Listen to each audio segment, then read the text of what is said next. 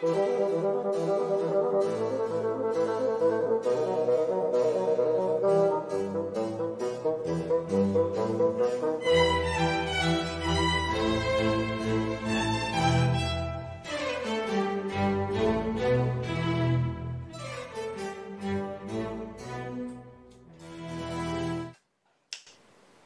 ¿qué tal? Y al final la mesa directiva del Congreso pertenece a la oposición. Me parece muy bien. La verdad es que hubiese temido mucho si la mesa directiva del Congreso hubiese quedado en manos de Perú Libre, el partido del señor Cerrón. No sé si estrictamente el partido del presidente Pedro Castillo, pero sí el partido del señor Cerrón. El señor Cerrón le encargó a Guido Bellido las negociaciones para la mesa directiva. Guido Bellido obedeció al señor Cerrón y por supuesto se peleó con todo el mundo. Intransigente, intolerante, sectario. Primero quiso imponer a Valdemar Cerrón, el hermanito del señor Cerrón.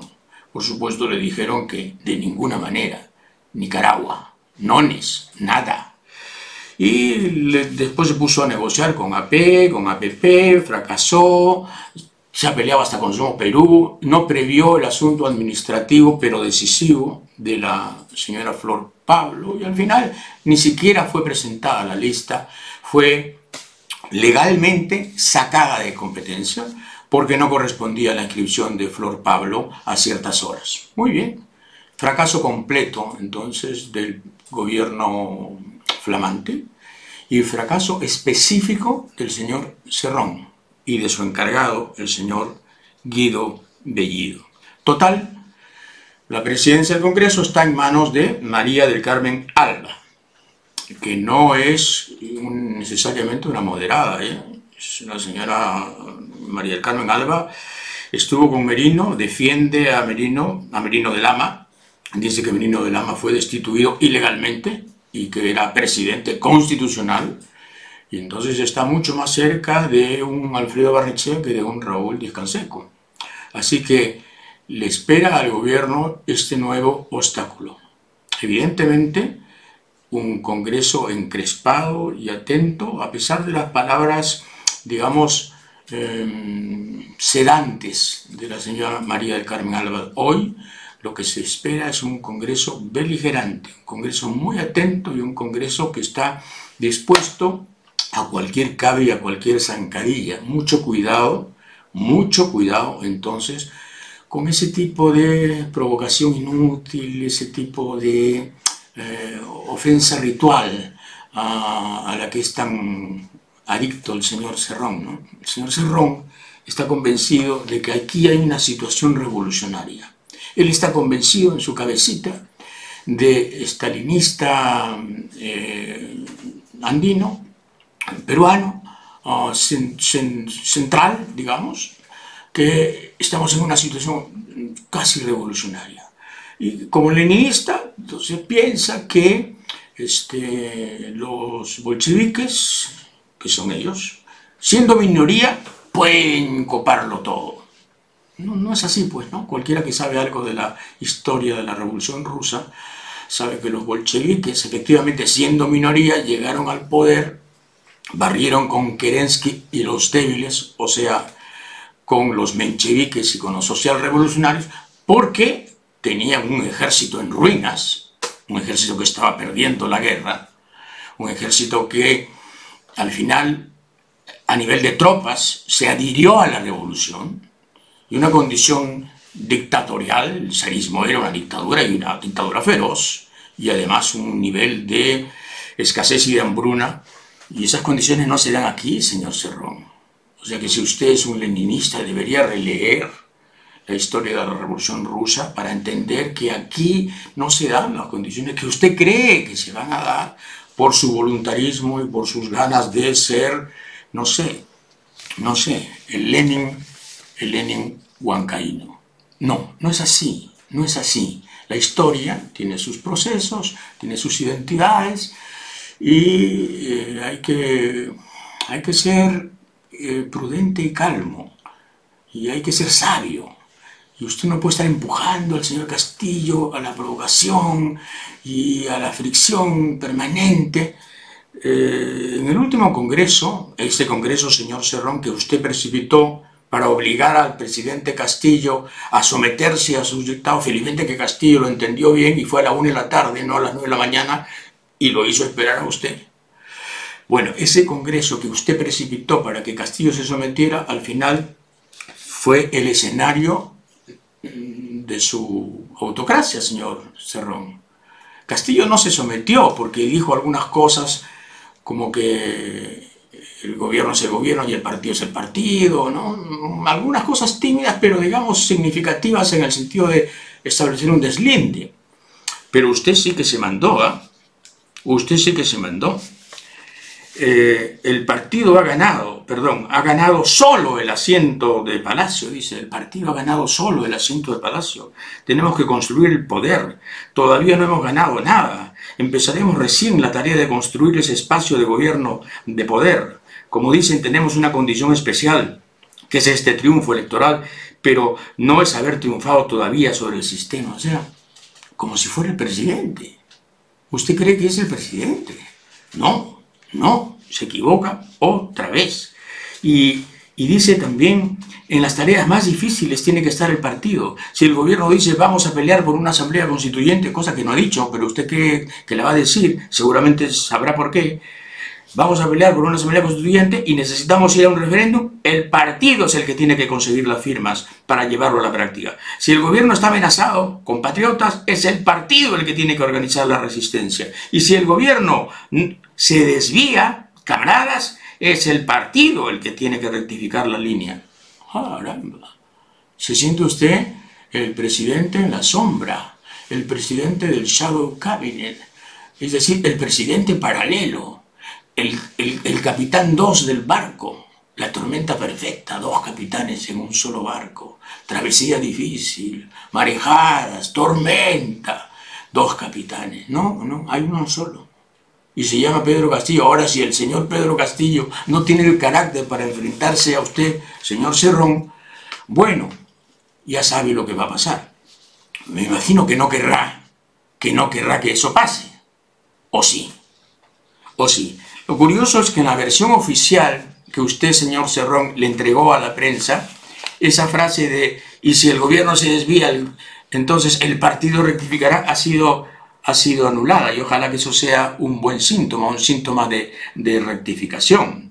¿no? Si el gobierno es amenazado por las fuerzas opuestas al cambio, el partido organizará la defensa. Y finalmente, el gobierno pasa, el partido queda.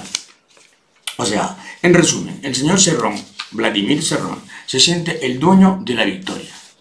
el dueño de la victoria. Se siente el depositario de los votos, depositario del mandato y por lo tanto una especie de eh, presidente de facto. Si el señor Castillo no tiene la fuerza suficiente, habrá que dársela. Habrá que dársela vía endovenosa lo que no vamos a tolerar, lo que no podemos permitir es que el señor Cerrón crea que él ha ganado las elecciones y crea que sus dogmatismos estalinistas eh, son los que deben prevalecer en el programa de gobierno porque eso conduce a algo bien sencillo, bien sencillo, la anarquía y el golpe de Estado. La anarquía ya empieza a expresarse ¿eh? de algún modo, mucho cuidado, mucho cuidado, eh, por ejemplo, se hablaba de Abelino Guillén como presunto ministro de Justicia, ahora ya parece ser Aníbal Torres, pero no hay decisión, no hay decisión. Porque el señor Castillo, el presidente electo, escucha, escucha como el Papa, ¿no? Escucha a todos, escucha a sus cardenales, escucha, se va hasta las sinagogas a escuchar, es ecuménico, es así abierto, escucha a los, a los islámicos, es, un papa universal, pero no se sabe qué decide. Escucha a todo el mundo, pero no se sabe qué decide. El, por ejemplo, el psicólogo Roberto Sánchez ahora está virtualmente nominado, por lo menos es una alternativa, para comercio exterior. No sabe nada de comercio exterior. El señor psicólogo Roberto Sánchez, que debe ser muy respetable en su especialidad, no lo estoy negando. Héctor Béjar está en la Comisión de Transferencia de Relaciones Exteriores. Héctor Béjar es una persona muy respetable, fue un guerrillero, eh, fundador del ELN, este, estuvo preso, fue excarcelado por una amnistía del general Velasco, es un buen tipo, es un magnífico señor que se arrepintió de la violencia, es un hombre abierto, digamos, eh, valioso en muchos sentidos, pero relaciones exteriores, nadie sabe qué hace ahí. Iván Merino está voceado para Energía y Minas hasta el cierre de esta edición, como dicen los editores de la prensa escrita, entre ellos yo. Hasta el cierre de esta edición, Iván Merino, Energía y Minas. ¿Qué, sabe el economista Iván Merino de energía y minas? No sé si sabrá de minas, pero de energía. Vamos a ver. Él, pues, él, él es el esposo de Celeste Rosas, la famosa, la inolvidable Celeste Rosas. Celeste Rosas la que hizo un papel vergonzoso, terrible en aquel debate técnico. Él organizó el debate técnico por parte de Perú Libre. Y claro, como lo él organizó, puso a su esposa a hacer una ponencia que resultó espantosa en aquella noche fatídica en donde el Fujimorismo derrotó ampliamente en aquel debate técnico a los representantes de Perú Libre. Y además el señor Iván Merino es, según IDL, en una muy buena información, es el responsable, o sería el responsable, de la renuncia del general César Astudillo al comando conjunto de las Fuerzas Armadas. ¿Por qué? Porque César Astudillo al parecer estaba muy confiado de que el ministro de Defensa del próximo gobierno iba a ser el general Jorge Luis Chávez Cresta, que ya había sido ministro de Defensa. Estaba confiado porque además eh, Chávez Cresta eh, eh, está muy conectado con César Astudillo. Pero resulta que hubo una reunión, según IDL, en el edificio Tiffany's, y ahí resultó que los voceros de Perú Libre, o sea, de Cerrón, porque cuando hablo de Perú Libre hablo de Cerrón, no de Castillo, le dijeron a Chávez Cresta, lo mandaron a llamar y Chávez Cresta creyó que ya, ya, bueno, no sé si creyó, pero en fin, el protocolo era que le iban a dar ya la cartera de defensa. No, le dijeron que no, que como era un partido de izquierda no podían nombrar a un militar y que iban a nombrar entonces en defensa al abogado Walter Ayala, que es un magnífico abogado, pero de defensa no sabe nada. Nada. 0.0. Y entonces César Astudillo se enteró de eso, este es el reporte de IDL, y dijo, me voy. Y se fue.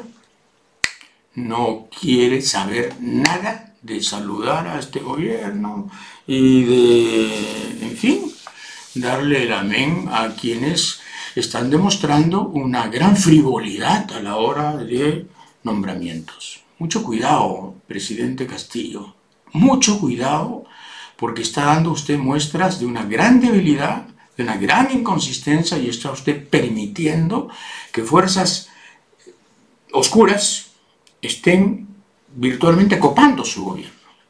Mucho cuidado, porque está jugando con fuego. Y el que, fue, el que juega con fuego ya sabemos que puede terminar quemado. Roger Najar, hombre de Cerrón, sigue siendo voceado, el más voceado, como primer ministro. Roger Najar tiene una serie de objeciones eh, de toda índole. ¿eh?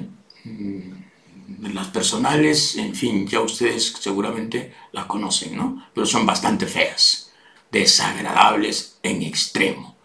Pero políticamente es el hombre de Cerrón. O sea, es el más fiel uh, muñeco de ventriloquía del señor Cerrón. En realidad es Cerrón. Yo creo que es Cerrón, pero se hace llamar Roger Raja. Es un heterónimo del señor, es un seudónimo del señor Cerrón. Es uno de los muñecos de este gran titiritero que es Vladimir Cerrón, que ahora quiere el gobierno completo. Me cuenta alguien relativamente próximo al gobierno que en un momento dado el señor Cerrón ha dicho ah, va a tener que haber expropiaciones.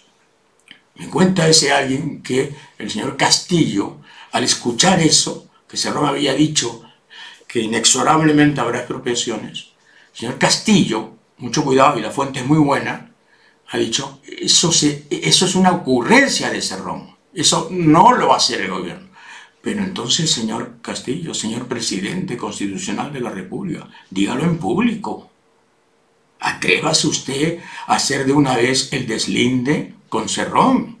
Ahora, ahora, no en palacio, no rodeado de decanes, no con los militares eh, a su costado. Ahora es tiempo de decirle a Cerrón, Cerrón, basta, hasta aquí llegaste.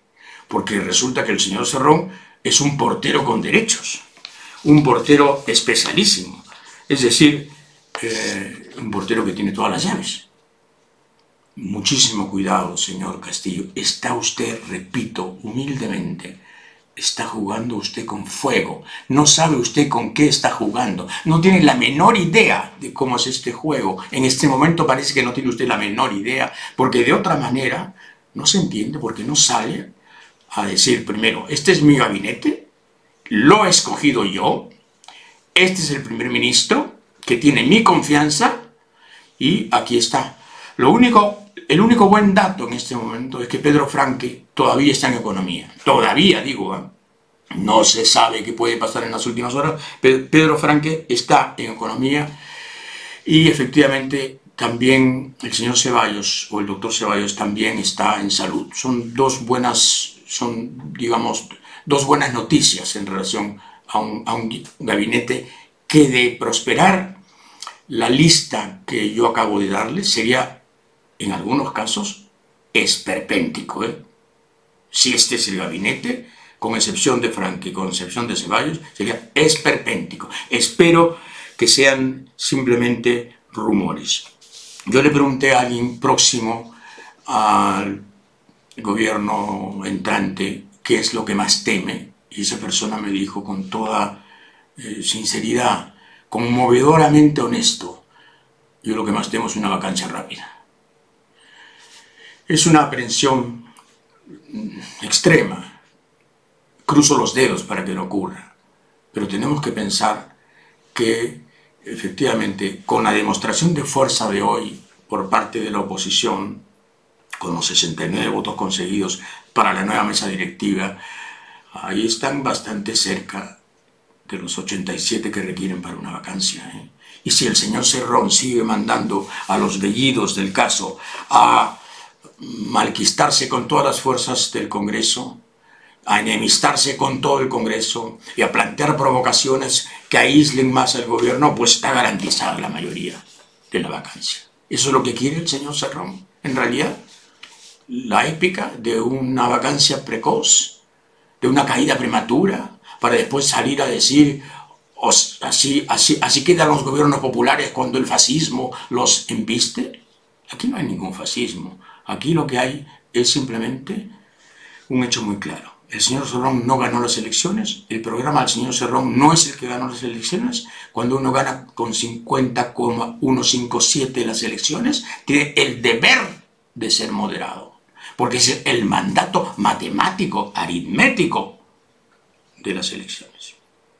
Si hubieran ganado con 70,8, en fin, aún así, las minorías siempre, siempre tienen que ser respetadas.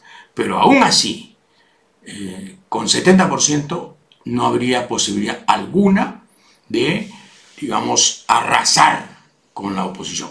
Cuando uno gana con 50,157, 44 mil votos de diferencia, el deber de la, de la moderación es una exigencia que emana de las cifras. Señor Castillo, presidente constitucional del Perú, fuimos los primeros en llamarlo así. Le tenemos respeto y le tenemos afecto porque usted representa en muchos sentidos el Perú negado, humillado, violentado y despreciado. Señor Castillo, señor presidente constitucional, haga un deslinde ya con Cerrón.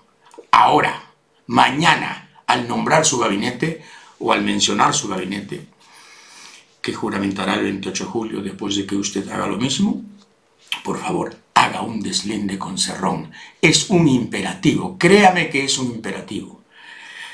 Lo otro es seguir jugando, seguir jugando el juego del abismo, la atracción de la cornisa, a ver cuánto camino por aquí, a ver, eso, ese es el juego perfecto del Señor cerró. ¿A quién provoco más? Y claro, eh, todos los que recordamos con dolor la experiencia de Salvador Allende, sabemos a dónde conduce la provocación.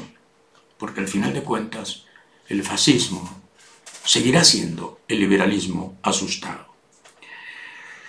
Mario Vargas Llosa ahora habla sobre Cuba. Yo pensé que su artículo que reproduce la República, pero que publica originalmente el país, iba a ser sobre el Perú. Iba a decirnos que la lucha continúa. No, ahora habla sobre Cuba. O, sea, no se refiere para nada a su campaña, a su despreciable campaña en relación a avalar la tesis del fraude el fraude, el fraude, el fraude, el descrédito del Perú a nivel mundial. Vox, el PP, la Comunidad de Madrid, los presidentes pichiruchis, amarrachientos de América Latina o expresidentes de América Latina con él en la tesis del fraude. Calladito la boca. Se cayó Mario Vargas Felizmente, ¿no? Se cayó. Una encuesta una encuesta hecha por el IEP, publicada en la República también, arroja que el 80% rechaza la conducta de Keiko, de Keiko Fujimori, luego del balotaje. El 80%.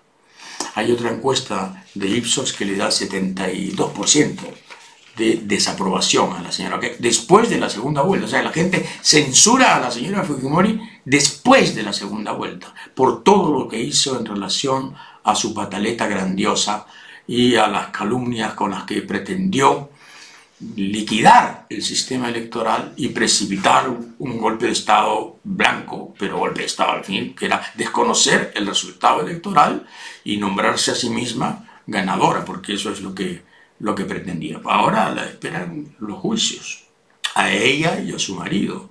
Los juicios, juicios que van a ser severos porque hay un montón de pruebas en contra de, y el Fujimori, en contra de ella. Y el Fujimorismo va a terminar como algunos modestamente previmos, como una organización criminal, digamos, abordada por la justicia y descabezada por las sentencias. Así va a terminar el Fujimorismo. ¿Es justo? Yo diría que sí. Yo diría que sí porque el Fujimorismo ha sido una dolencia para el Perú. Estas tres últimas elecciones las hemos padecido. gracias al Fujimorismo. Es decir, la postelección ha sido todo un trauma. El Fujimorismo es un problema, ha sido un problema. Yo creo que ya termina. Con esto termina. Hay algunos ahí optimistas, ah, a prueba de balas, que dicen, no, habrá una cuarta oportunidad. Yo no creo que haya una cuarta oportunidad. No creo que nadie apueste ya por, el Fujimorismo. Ya no digo por Keiko, ¿eh? que está totalmente descartada, sino por el Fujimorismo, porque al final, ¿el Fujimorismo qué es? Es el liberalismo dictatorial, autocrático, nada más. Y hasta el modelo ha pasado de moda, como hemos visto en Chile. Hasta el modelo ha pasado de moda. Entonces, el Fujimorismo no tiene nada más que ofrecer que eso. Las noticias que vienen de afuera en relación a la economía no son muy alentadoras. ¿no? Eh, Moody's, que es una agencia calificadora muy respetada, eh, habla de una gran incertidumbre en relación al próximo gobierno. Tiene razón, tiene razón, esa gran incertidumbre la sentimos nosotros en este momento, los peruanos. Hay una gran incertidumbre. ¿Quién va a ser ministro? ¿Cómo se va a manejar la cosa? ¿Cómo se va a heredar el asunto de la vacunación? Nadie dice nada, no se sabe nada. En fin, este, la transferencia es cierto, ha sido brevísima, ha sido acotada y ha sido insuficiente, pero hombre, ya tendríamos que tener algunas señales y algunos indicios. Y el BBVA reduce el avance de la economía a 9%, ¿no? era 10%, lo ha reducido a un punto, el avance de la economía en los próximos meses. Creo que es una opinión generalizada que puede haber un cierto apagón económico, eh, sobre todo si Em, las fuerzas radicales someten a Castillo a un programa, em, digamos, poco, poco, poco, poco prudente. ¿Perdón? El comercio habla de Willax, y yo tengo que hablar de Willax también. El comercio habla de Willax y dice, los periodistas, claro, no estamos liberados de responsabilidad sobre nuestras acciones. La libertad de expresión se basa tanto en los derechos como en las obligaciones y responsabilidades. De hecho, dice el comercio, de hecho, desde este mismo espacio hemos criticado a Willax por algunas coberturas que se alejaron del rigor periodístico como la de, como la de Sinopharm. Sin embargo, ello no puede ser pretexto para perjudicar la libertad de prensa. Qué vergüenza. Hablar de libertad de prensa en relación a Willax. Willax, que es el canal que sigue hablando de fraude, de presidente ilegítimo, de las marchas y caravanas de no me robes mi voto, que sigue alentando esta ola golpista, Willas y la libertad de expresión? No. Como no resulta que a Donald Trump le volaron Facebook y le volaron Twitter por decir las cosas que decía justamente en relación al fraude que habría llevado al señor Biden al gobierno en la Casa Blanca, y no le, no le cortaron las redes, así, ¿no? Porque dijeron, cuidado, la libertad de expresión tiene sus límites. Sí, pues, alentar el golpe de Estado, decir mentiras todos los días, calumniar de un modo increíble a quien se le ocurra, incluyendo calumnias a una vacuna. ¿Eso es libertad de prensa? ¿Eso es periodismo? No, no, eso es otra cosa. Eso es derecho, digamos, mm, a decir lo que a uno le da la gana. Pero entonces hay consecuencias penales, políticas, sociales, morales, etc. O sea, el periodismo no puede ser una bacanal de la verborrea hiriente. El periodismo no puede ser un mono con metralleta matando a todo el mundo, asesinando moralmente a medio, a medio Perú, con el objeto de, además, con el objeto de instaurar una dictadura determinada. La dictadura del fujimorismo y del neoliberalismo y de la constitución intocable y de, y de la derecha que se siente dueña del poder desde hace 200 años. Libertad de expresión Qué desperdicio, ¿eh? si esa es la libertad de expresión, sinceramente yo renuncio a ser periodista. No quiero estar mezclado. No me gusta. No me gusta. Y bien, Viene el 28 de julio y es un 28 de julio especial, ¿no? Son 200 años. 200 años. ¿Qué decir sobre el bicentenario? Bueno, yo lo que propongo es decir la verdad, ¿no? Primero que el 28 de julio de 1821 no fuimos pues independientes, ¿no? No fuimos independientes porque San Martín, bueno, este, San Martín lo que quería era una monarquía. El 2 de junio, o sea, un mes antes, un mes y pico antes del 28 de julio, el 2 de junio de 1821, don José San Martín, como ustedes saben, se reunió con el virrey La Serna en Punchauca. Hay una hacienda que queda en Caraballo, ahorita, 25 kilómetros de Lima. Se reunió, ¿y para qué se reunió? Para ver cómo hacían para que el Perú fuera una monarquía, con un príncipe español, San Martín y La Serna. Lo que pasa es que La Serna le dijo, tengo que consultarlo, eso tengo que consultarlo. Y, digamos, la cosa se diluyó. Y después vino la declaración, la declaración, ta, ta, ta, ta, ta, somos libres e independientes por la voluntad general de los pueblos y por la justicia de su causa que Dios defienda. Pero no fuimos libres, pues. No fuimos libres. Se quedó, se quedó la fuerza peninsular. La Serna se fue al Cusco y ahí se instaló. Pasó 1821 y seguimos siendo virreinato, y 1822 y seguimos siendo virreinato, y 1823 y seguimos siendo virreinato. Bueno, hasta que Bolívar en 1824, el 9 de diciembre en Ayacucho, este, efectivamente terminó con, el, terminó con el ejército realista de España. Terminó pues 9 de diciembre del 24. Nada que ver con 28 de julio de 1821, nada que ver en, ese, en esa batalla, la de Ayacucho, por si acaso, combatieron 4.500 colombianos, 1.200 peruanos y 80 argentinos. O sea que el ejército libertador de Ayacucho estuvo básicamente integrado por colombianos. 4.500, 1.200 peruanos y 80 argentinos.